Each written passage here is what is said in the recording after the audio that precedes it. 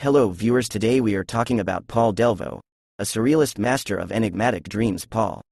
Delvaux, a Belgian surrealist painter, is celebrated for his captivating and enigmatic works that transport viewers to dreamlike worlds filled with eerie beauty and mysterious narratives, born on September 23, 1897, in Antheit, a small village in Belgium, Delvaux's artistic journey traversed the tumultuous landscape of the 20th century, leaving an indelible mark on the world of art.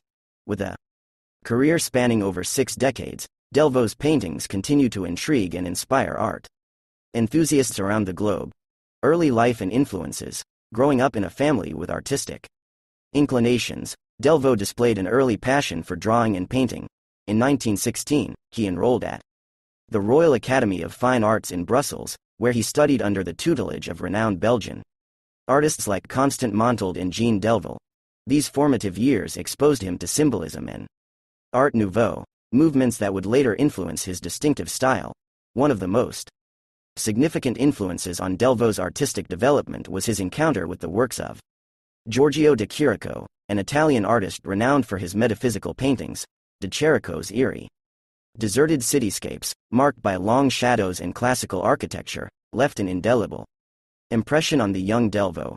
These early experiences laid the foundation for the dreamlike, otherworldly quality that would define his later works, surrealism and the journey to mastery. While Delvaux's early works showcased a variety of styles, it was his encounter with surrealism. In the 1930s that truly shaped his career. Surrealism, a movement that sought to explore the realm of the unconscious mind and the irrational, resonated deeply with Delvaux, under the influence of surrealist luminaries like René Magritte and André Breton, he began to infuse his art with fantastical elements, strange juxtapositions, and dreamlike atmospheres. One of Delvaux's most iconic motifs is the female nude, often depicted in enigmatic settings, such as train stations, museums, or moonlit landscapes. These figures, rendered with a classical sense of proportion, evoke a sense of timelessness and mystery, Delvaux's fascination with the female form, combined with his interest in classical art and architecture, created a unique tension in his paintings, blending the ancient with the contemporary. The impact of World War II.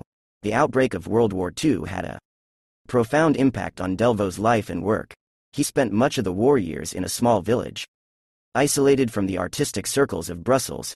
During this period, he delved deeper into his introspective world of dreams and fantasies, his art became a refuge from the chaos and uncertainty of the outside world, allowing him to create serene, yet haunting, compositions. Delvaux's The Village of the Mermaids, 1942, is a poignant example of this wartime introspection. In this painting, mermaids inhabit an eerily still, moonlit village square, a symbol of escapism and a desire for tranquility amidst turmoil. The war years marked a turning point in his career solidifying his reputation as a leading surrealist artist, post-war recognition and legacy. Following the war, Delvaux's career flourished, and he gained international acclaim. His works were exhibited across Europe and the United States, solidifying his reputation as a master of surrealist art.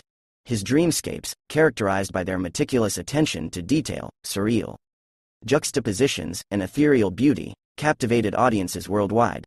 In the decades that followed, Delvaux continued to refine his style, creating a vast body of work that explored the boundaries of dreams, reality, and the subconscious. His mastery of light, shadow, and composition imbued his paintings with an unparalleled sense of depth and atmosphere. Paul Delvaux passed away on July 20, 1994, but his legacy endures. His influence can be seen in the works of contemporary artists who continue to explore the realms of surrealism and the subconscious, Delvaux's ability to transport viewers to enigmatic and dreamlike worlds remains a testament to his enduring impact on the world of art.